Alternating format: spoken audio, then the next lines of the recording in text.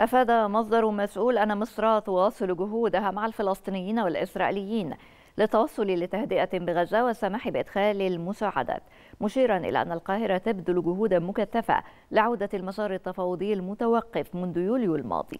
أكد المصدر أن الجهود المصرية تحظى بدعم دولي للتوصل لوقف إطلاق نار بغزة رغم عدم رغبة أحد الطرفين التجاوب مع تلك الجهود مشيرا إلى أن اتصالات مصر المكثفة تأتي لحث الطرفين الفلسطيني والإسرائيلي للتوصل لاتفاق لوقف إطلاق النار. وأكد المصدر المسؤول أن لقاء فتح وحماس في القاهرة سعى لتحقيق الوحدة الفلسطينية وعدم فصل الضفة الغربية عن قطاع غزة مشيرا إلى أن الحركتين أظهرتا المرونة والإيجابية تجاه إنشاء لجنة للإسناد المجتمعي لإدارة شؤون القطاع.